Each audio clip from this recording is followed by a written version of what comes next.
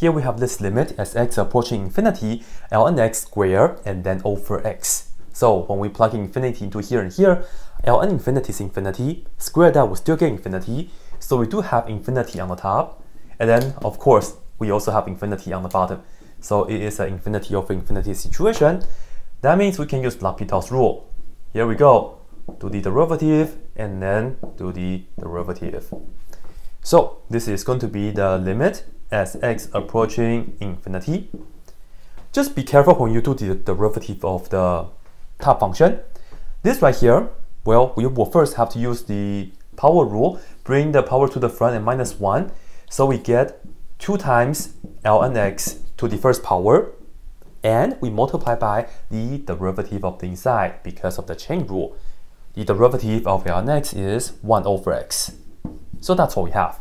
And then the derivative of x is just equal to 1.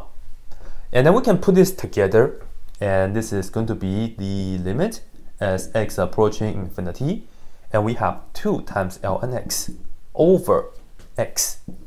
All right? And then when we put infinity into here and here, guess what? We get infinity over infinity again. So L'Hopital's rule one more time.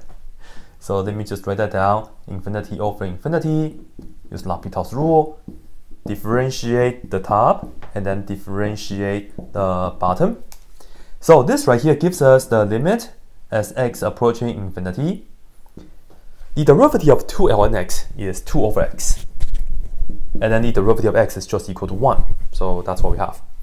Finally, we can just put infinity to here, so we get 2 over infinity, and the answer is just equal to 0. Alright? Yeah, so that's it.